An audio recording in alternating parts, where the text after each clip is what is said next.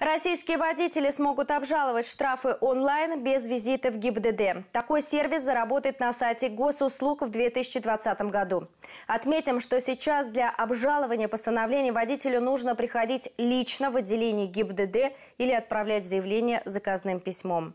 После внедрения новой услуги можно будет не только в онлайн-режиме обратиться в госавтоинспекцию, но и дистанционно вернуть деньги за неправомерно назначенный или оплаченный штраф, обратиться к операторам парковок. Жалобу можно подать в электронном виде в течение 10 дней с момента получения извещения о штрафе. К жалобе могут быть прикреплены различные материалы, подтверждающие правоту автовладельца, например, записи с видеорегистратора.